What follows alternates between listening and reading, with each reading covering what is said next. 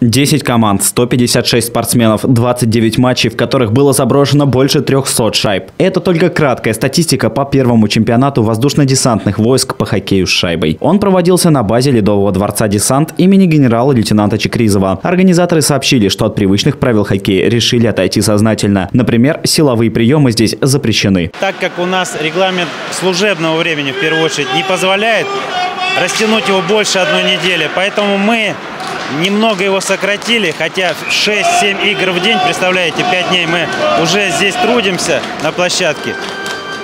Поэтому мы от правил немного отошли. Не чистое время, а грязное время у нас идет на табло. В таком ускоренном темпе все матчи были отыграны за неделю. Команды разделили на две группы. А – сборная воздушно-десантных дивизий и Б – бригада ВДВ. По словам участников, первая считалась самой сильной, и рязанская команда была именно в ней. В нашей группе были достаточно тяжелые игры с учебным центром 242 городом Омск. Э, очень тяжелая игра была со 106-й воздушной дивизией.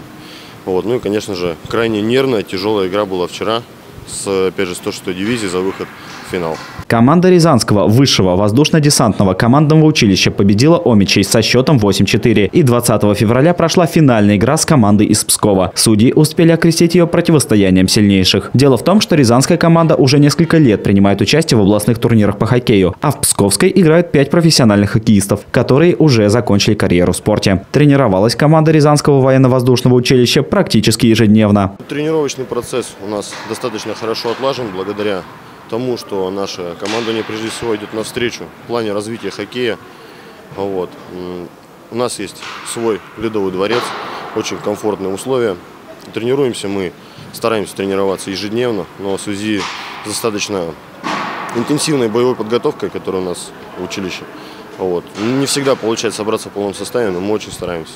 Чемпионами турнира стала команда из Пскова. Рязанцы же заняли почетное второе место. Но игроки не расстраиваются. Говорят, что если турнир станет доброй традицией, то в следующем году обязательно смогут победить. Но расслабляться пока рано. Впереди новые тренировки. По результатам чемпионата будет сформирована сборная команда воздушно-десантных войск, которая примет участие в чемпионате вооруженных сил Российской Федерации в июне 2018 года. Валерий Седов, Станислав Кудряшов, телекомпания «Город».